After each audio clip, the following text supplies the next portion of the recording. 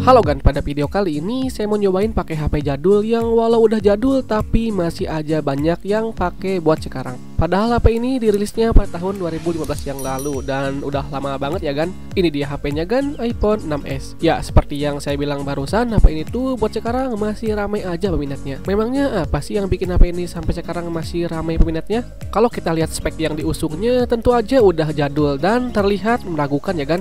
iPhone 6s ini pakai SoC sakti yakni Apple A9 dengan GPU cuman dual core aja kan. Ya saya bilang SoC sakti karena SoC Apple A9 ini memang sedemikian sakti. Walau udah berumur kurang lebih 7 tahun, tapi performanya masih kenceng buat ukuran SoC jadul. Performa yang masih kencengnya ini nggak lupa ditunjang juga sama sistem operasi iOS yang memang iOS ini memiliki manajemen yang baik. Jadi kombinasi dari hardware dan software yang bagus tentu akan menghasilkan sesuatu yang baik dan bisa awet bertahan lama. Contohnya seperti pada iPhone 6s ini.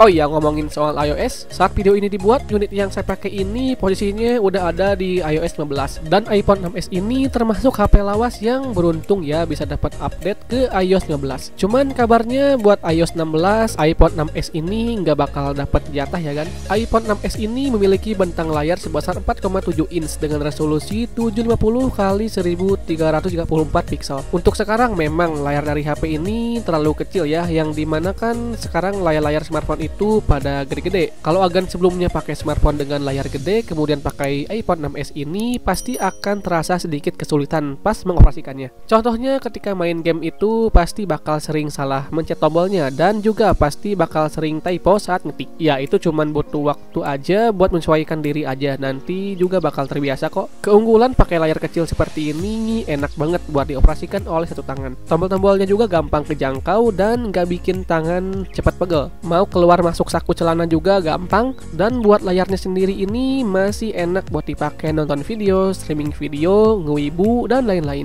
Overall buat layarnya ini masih oke okay dan enggak ada keluhan. Buat performanya menggunakan iOS 15 ini yang saya rasain itu masih smooth, transisinya juga lancar dan saya nggak pernah nemuin ada lag atau kendala lain. Buat penggunaan sehari-hari seperti main sosmed masih enak ya dan nyaman-nyaman aja. Saya selama pakai belum pernah nemuin ada kendala saat main sosmed. Buat nge-scroll timeline pun masih enak dan smooth banget. Overall buat main sosmed dan penggunaan ringan lainnya, iPhone 6s ini masih bisa menghandle-nya dengan baik. Lalu kalau buat main game gimana? Nah ini yang bikin saya sedikit terkejut. Jujur saat awal pakai iPhone 6s ini buat tahun sekarang Saya awalnya berpikir kalau buat main game pasti bakal ngelag dan kurang nyaman buat main.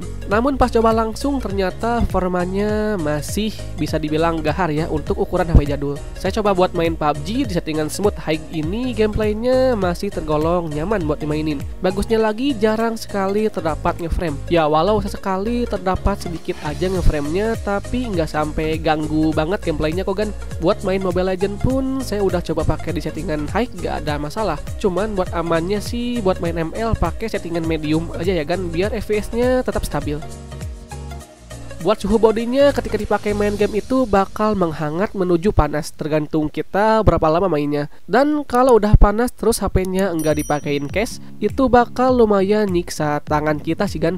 Kalau mau main dengan waktu yang lama, saya sangat menyarankan buat main di ruangan yang ada AC-nya atau ruangannya yang cukup dingin. Atau mainnya di dekat kipas angin juga nggak masalah, asal HP-nya jangan sampai panas aja ya kan, karena kalau udah panas, FPS di gamenya akan menurun. Buat daya tahan baterainya kayaknya nggak perlu dibahas sih kan. Buat baterainya yang berkapasitas 1715 mAh ini tentu buat sekarang ampas banget kan. Dan memang baterainya ini boros pakai banget kan. Kalau Agan mau pakai iPhone 6s buat sekarang, wajib banget beli juga power bank ya, biar pas lagi di bawah nongkrong HP-nya enggak kehabisan baterai. Buat kameranya, kamera belakang iPhone 6s ini beresolusi 12 megapiksel yang maksimal bisa rekam video di 4K 30 fps. Sedangkan kamera depannya beresolusi 5 megapiksel yang maksimal bisa rekam video di resolusi HD 30 fps. Buat kualitas kameranya tentu aja ya buat sekarang bakal kalah sama HP-HP mid-range zaman sekarang. Foto-foto yang dia hasilinnya itu sering terdapat overexpose dan detailnya kurang banget. Buat sekedar untuk dokumentasi kebutuhan kerja sih masih oke okay lah ini. Cuman buat kebutuhan fotografi kurang bagus. Kecuali diedit lagi fotonya pakai software lain ya. Buat sisanya mungkin bisa agak nilai sendiri. lirik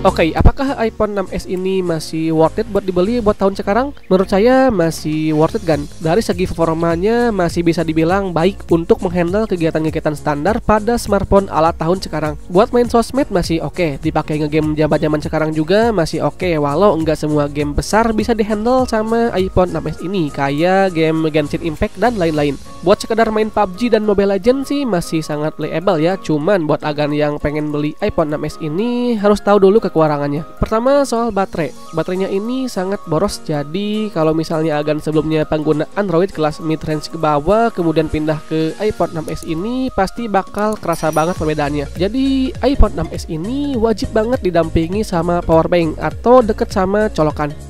Kedua, soal kameranya yang kurang bagus kalau mau dipakai untuk kebutuhan fotografi dan videografi. Ketiga, soal bodi belakang dari iPhone 6s ini yang sangat licin, jadi agan harus hati-hati dalam menggunakannya. Dan terakhir, soal suhu dari iPhone 6s ini kalau dipakai dengan intens akan cepat hangat ya kan. Overall, selain kekurangan yang saya sebutin barusan, iPhone 6s ini masih oke. Okay. Saya rasa iPhone 6s ini cocok buat agan yang pengen migrasi dari Android ke iPhone karena dari segi harga harganya juga terbilang murah. Oh iya, buat harga pasarannya bisa cek link di deskripsi video ini ya kan.